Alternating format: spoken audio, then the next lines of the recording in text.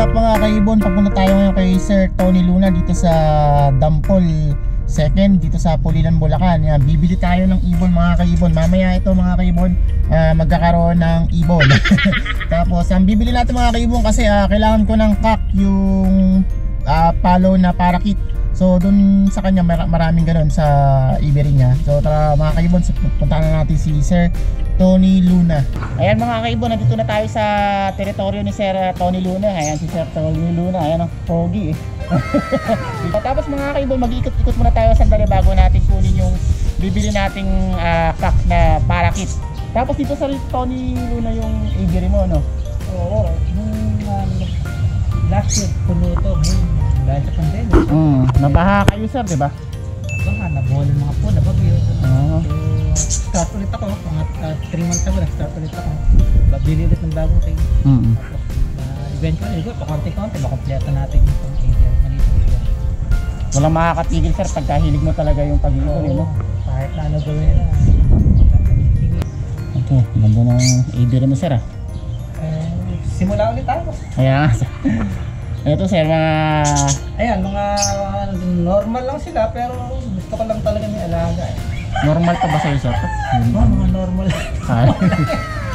mga kaibon, kailangan kasi natin ng palo sir. Palo yung bibili ko sa'yo. Palo na, dilute, dilute Ah, siya na palo. Kaya pala ganun yung huli, maganda eh. Dilute oh, pwede siyang gawing ah, rainbow material. Hmm, Paparas mo lang siya sa clear wing. eh. sa clear wing. So wala, Ayan, ah, ay, eh. kaya lang sa Tony Luna, ah, ipaparis ko siya sa PCB. Kaya na kasi pairing ko ganun din. PCB, palo. Depende kasi kung anong malamig sa mata mo eh. Ang ganda nito. oh. Spangle. Ayun. Spangle siya. Ay, meron akong pack na ganito eh. Dati yung mga hinahanap nung araw, ah, ngayon mga rainbow na. eh. Rainbow na ngayon, oh. Tsaka yung price ng rainbow, medyo mataas, no? Oh. Ayan, tapos ito. Palo din ba to, sir? Oo, oh, palo siya. Ayun, ayun. Mata pula, yan, no? Ito, ganda ng guli na to. Ah, tufted siya, na normal green. So, tufted. So, halos lahat yan may mga itlog sila. Ito, sir, budgie ba to? Ganda ng tayo niya. Pang show mo siguro to, sir, Hindi, no? ano lang siya, na parakit lang siya. Ganda ng yun. Yung yung tayo na yan, oh. Oo, yan ang mga hinahanap ko yung maganda tayo, tapos yung maganda throat mark. Hmm. So, So, ito po, palo, oh. Palo, mga kaibo. Ah, sir, ah, bali yung pinaris mo dyan, split palo din po ba? Hindi. PCB lang. Ah, TCB. Ngayon, yung magiging anak niya, So, magkakaroon sila na. nung ano kailangan mo ibangga sa split ng anak nila ano tama Kung po ano yung gusto mo achieve na project. Mhm. Ako kasi more on ano lang, yung uh, kasiyahan lang ng mata ko. oo Hindi lang, sa, akala, alam ko sa pag-iibon gano'n eh. Mm. Kung ano yung kulay na nakaka-relax sa'yo, yun na lang. oo yun nga tama Kasi hindi naman katulad ng manok na nahihimos natin, asa na pipet natin. Dito, masisiyahan lang talaga sa atin, mata.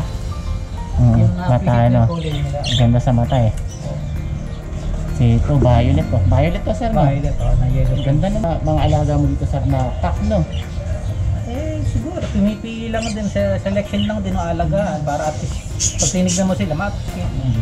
mga ka-attract mo Kahit konti lang. ah. Eh double lang din ng ginamit ko sir eh Tapos ang yung nest box sa labas ko nilagay, ako Ah, na gumagawa nito. ay ikaw na rin yung ganda no? Kasi gusto ko yung buo, yung pinto para madaling linisin. oo Kasi pag may harang, sasaluhan ka din kayo no hindi katulad dito mga ginagawa, ginagawa ko, wala din siya linisin. hindi naman sir ma- malalaglag pag uh, Ah, binuksan hindi, mo siyempre. alalay lang siguro mo. And then yung kung may inakay, hindi lalagay ko sa isang lalagyan. Saka ko nililinis. Kaya kung may pagkakataon ka, vacuumin mo rin. Ayun, Tapos ngayon tag-init, ay, sinispray na ko tubig yung nest box. Para Hmm. ko ng konting moisture. Puro nila mga, mga, ano, yung mga Ay, ganun pala yun. idol natin. No? Ah, Kasi eh. natataka sila ba't maraming uh, nababalot o napipene. Hindi nagtutuloy. Ang sabi ng mga kaibigan natin, mga medyo matagal na sa pag-iibon, kulang sa moisture dahil heat. Yung heat na Ah. nasa paligid, walang tubig.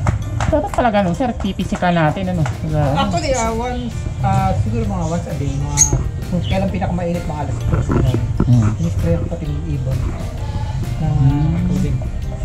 Lahat. Para di mabalot yung, ano. Pero okay lang yun, sir, pag may itlog sa Wala sa salay. Ah, pero pag may itlog sa salay, sir, tapos pinaliguan may ibon, okay lang yun.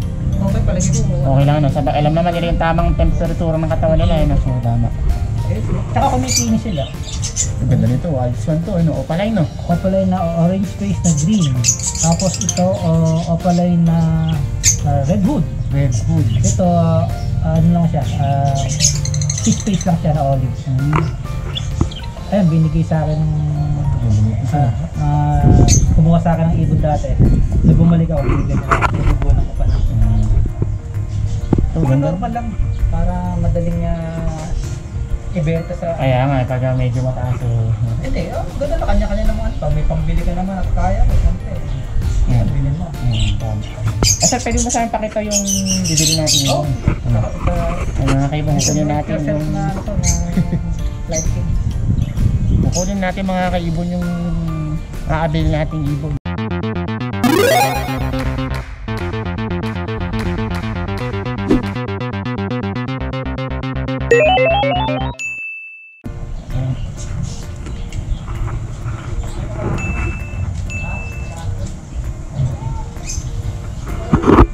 Ayun, ito mga, ang ganda, sir, sa, ang ganda ng flight cage mo ah. Actually, ano to eh, uh, human dog cage ko to. Oo. So, nung nakita ko na pinakalawang na siya, nirepaint plus binalutan ko na lang ng screen. Screen yun. Tapos, Pwede ka Ganda. flight cage. So ito, yung mga natira, pinapagulang ko na ikakasa ko later on. Mahilig kasi ako sa PCB. Mm, paras pala tayo, sir. Kaya makikita niyo siguro, mga. PCB alaga ko. Ang lalaki, sir, nung alaga mo. Eh, Hindi ko alam kung bakit. Hindi nga, parang medyo malaki sila. Siguro sa pag-aalaga lang. Pero ito, sir, lahat halos may dugong body na, ano? O wala din, malaki lang talaga sila. Oo, malaki lang talaga. Malaki lang talaga. Ito, sir, ito, sir, ibibiling ko ba? Ayan, yun yung digits na follow Oo, na yun. napakaswerte naman ni Kwentong Ibon, no? Medyo maganda yun. Siyempre, bibigay mo sa ating maganda na. Oh.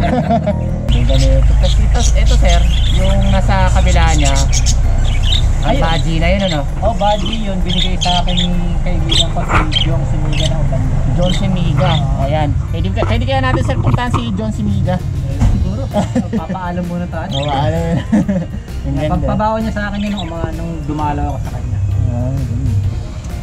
Masarap talaga magkaroon ng kaibigan, ano? Oo, napaka-generous ni Sir John. Ang lalaki. Compare mo yung mga kaibon sa aking mga alaga doon, maliit lang. Ito. Ito mga kaibon kukunin natin, oh. Ito mga kaibon, nandito tayo sa shop, so sa printing area ni Sir ah, Tony Luna. Ayan, oh.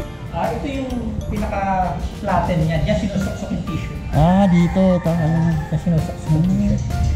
So ngayon, walang ganong gawa because of the pandemic. Kaya ang moro ang ginagawa namin puro sa mga taga mga clothing line. Hmm, floating line. Clothing line. Yung mga may clothing line, uh, nagpiprint din na kami iba, mga ilan akong client. Oo. Gandun pala yun, ano. Ikaw lang, Sir, ah, gumagawa dito. Yung mga, pag may mga tanggap ako, uh, kinukuha ko yung mga tao taga Bulacan. Ah, Bulacan, Bulacan. Ayos, ah. Pentong ibon, Sir, ah. Papagawa ko, ah. Ayan, Sir, yung damit mo, Sir. Ikaw gumawa niyan. Oo, ito. Ayos, Ako, ako, isa isang client ko, taga, taga Baligon.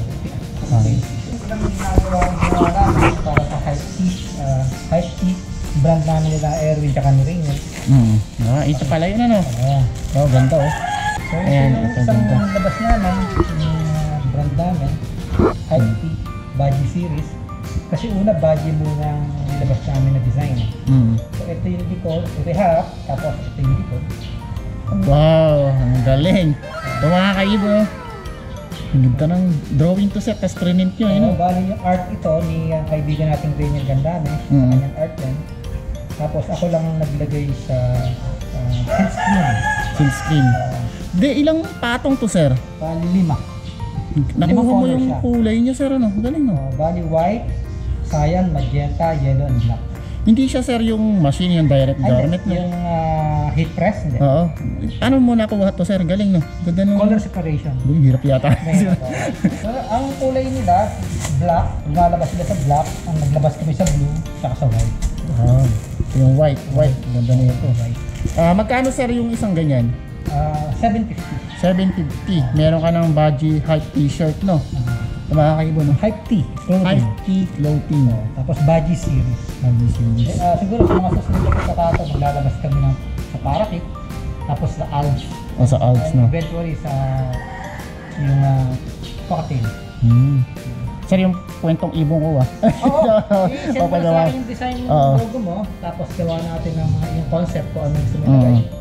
Pwede, Ayun, okay. Pwede yung sir sa harap, tapos sa likod, maliit lang. pwede. Kwentong ibon dito sa... Bali sa batok, yun, maliit. Tapos dito. Kung ano gusto mo ilagay. Ah, okay. Para pag may ABRBC tayo mga kaibon, yun ang susuot Oo. natin. Ayan. Yan nga ginagawa ng ibang ano, pag uh, shoot nila yung t-shirt na Eagle. Ayun. Sana mag-push through yung project natin. Ayan.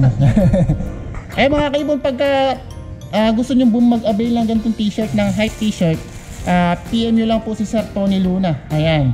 So, direct PM lang po kayo. Lalagay natin yung ah, Facebook account niya dito sa description ng video. Ayan.